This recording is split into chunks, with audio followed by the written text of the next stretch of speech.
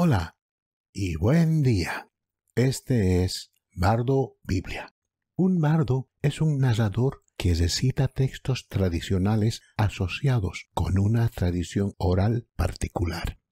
Estoy aquí para recitar y ampliar lo que, lo que dice la literatura de la Biblia acerca de quién es Dios y quiénes son los seres humanos.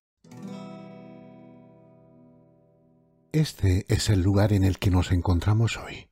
En nuestro último podcast escuchamos que Dios vive en todas partes al mismo. En la lectura de esta semana escucharemos que Dios tiene poder ilimitado.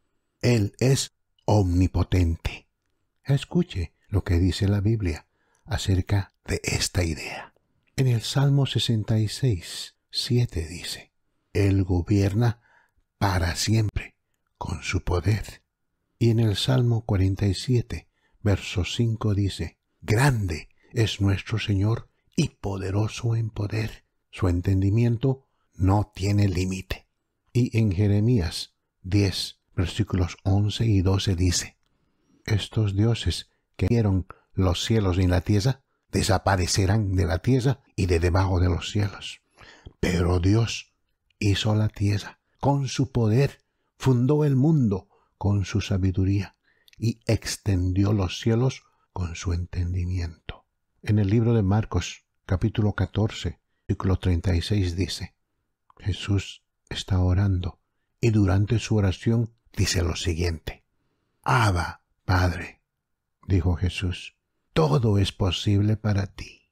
Y en Apocalipsis capítulo 19, versículo 6 dice, oí como la voz, como la voz de grandes truenos que decían, Aleluya, porque reina el Señor Dios Todopoderoso. Hasta este punto, Pardo Biblia ha enumerado tres grandes y únicas habilidades o cualidades de Dios, como se declara en la Biblia.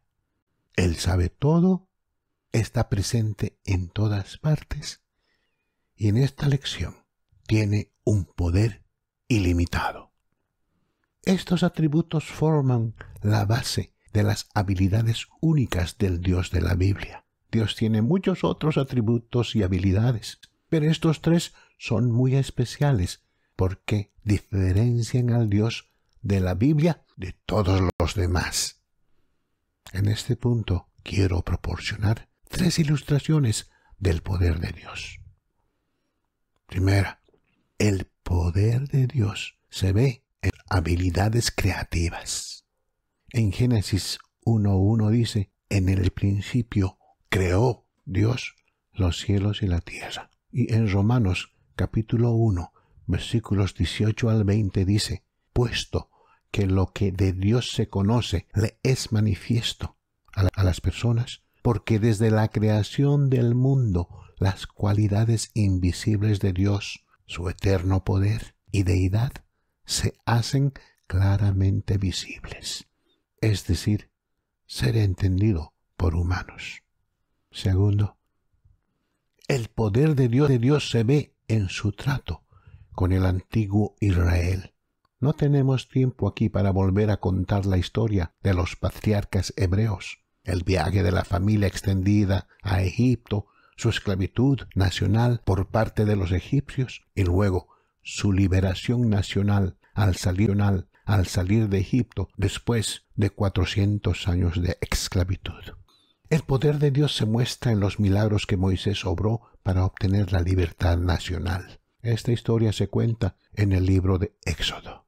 Algunos oyentes podrían incluso haber visto la película Éxodo de 1960 dirigida por Otto Preminger y basada en la novela Éxodo de 1958 de León Uris.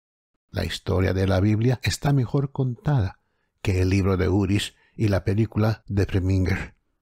Y tercero, el poder de Dios se ve en el Nuevo Testamento porque el evento más importante en el Nuevo Testamento es la muerte, sepultura y resurrección de Jesús. El apóstol Pablo dice en Filipenses 3:10, quiero saber el poder de su resurrección. El apóstol Pedro está de acuerdo en Primera de Pedro 1.3 que dice, Alabado sea el Dios y Padre de nuestro Señor Jesucristo. En su gran misericordia, Dios nos ha hecho nacer de nuevo para una esperanza viva por la resurrección de Jesucristo de entre los muertos.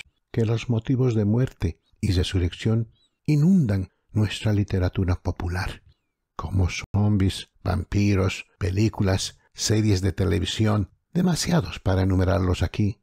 La resurrección de Jesús es única en la historia humana. Este ejercicio, ejercicio de poder atribuido a Dios es muy controvertido.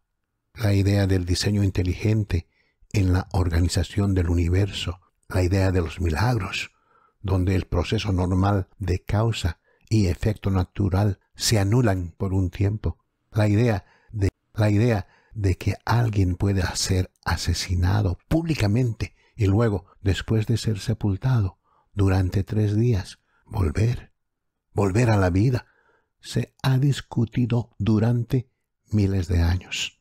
A Bardo Biblia no le importa. Nos enfocamos en lo que la Biblia dice acerca de estos temas. Ni siquiera estoy argumentando que estos eventos realmente sucedieron o son ciertos. En cambio, simplemente estoy compartiendo que esto es lo que dice la Biblia. Razón por la cual la Biblia es el libro dido en la historia editorial. Así es como funciona Bardo Biblia. Breves disertaciones, muy enfocadas, sin distracciones, sin desvíos innecesarios, al punto. Envíe a Bardo Biblia cualquier pregunta o comentario que desee ofrecer. Me alegrará oír de usted. Si tiene alguna pregunta o comentario, escriba al siguiente correo electrónico biblebardus at gmail.com. Eso es b i l e b a r d u s arroba g m a i l Gracias por acompañarnos y escuchar estas disertaciones de Bardo Biblia.